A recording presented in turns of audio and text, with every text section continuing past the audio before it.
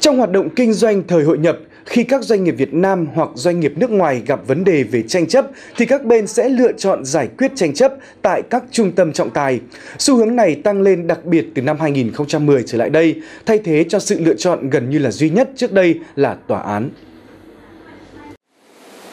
Theo thống kê của Trung tâm Trọng tài Quốc tế Việt Nam VIAC, trong 5 năm gần đây, từ con số 63 vụ tranh chấp năm 2010 lên con số 146 vụ vào năm 2015 tại VIAC. Có thể thấy số lượng doanh nghiệp quan tâm đến trọng tài thương mại càng lớn.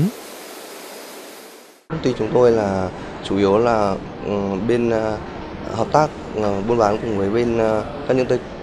công ty Trung Quốc. Ừ, thế nên là muốn tìm hiểu rõ thêm về cái phương thức có thể phương thức trọng tài để sau này khi mà à, hợp tác cùng với Trung Quốc thì có thể tiện à, xử lý các à, những cái khúc mắc sau này hơn. Chúng tôi cũng thấy là cái trọng tài quốc tế này cũng tương đối là thuận tiện à, hơn tòa án có thể là có thể thứ nhất là nhanh hơn và có thể thứ hai là có thể tự mình có thể chọn lựa được nhiều cái phương án giải quyết hơn nữa. Của các doanh nghiệp Việt Nam đã thay đổi, đã tiến bộ rất nhiều trong 20 năm vừa qua. Đặc biệt là từ năm ngàn à, từ năm 2003 khi mà pháp lệnh trọng tài của Việt Nam đã được uh, sửa đổi và sau đó là luật trọng tài thương mại. Đồng thời với việc là các cái giao dịch kinh tế thương mại Việt Nam với quốc tế nó nhiều hơn, nó dẫn đến cái sự phát triển đương nhiên của các cái việc là các cái vụ việc cái cái hợp đồng được các bên hoặc là Việt Nam hoặc là các đối tác ờ, nước ngoài lựa chọn để giải quyết tại các diễn đàn trọng tài. Nhiều ý kiến cho rằng Việc giải quyết tranh chấp tại các trung tâm trọng tài có những ưu điểm như các doanh nghiệp được quyền lựa chọn trọng tài viên, lựa chọn ngôn ngữ sử dụng trong tranh chấp. Đặc biệt, doanh nghiệp không nhất thiết phải lựa chọn luật pháp của Việt Nam mà hoàn toàn có thể lựa chọn luật pháp của một quốc gia khác phù hợp,